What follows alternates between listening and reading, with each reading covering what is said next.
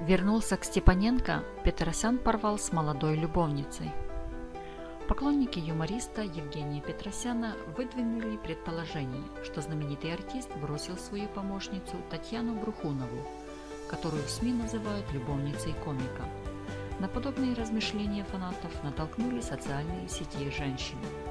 Поклонники юмориста Евгения Петросяна предположили, что 73-летний артист по какой-то причине расстался со своей помощницей Татьяной Брухуновой, которую СМИ называют предполагаемой любовницей комика. На подобный вывод некоторых пользователей интернета натолкнули социальные сети женщины, которая младше звезды эстрады аж на 40 с лишним лет.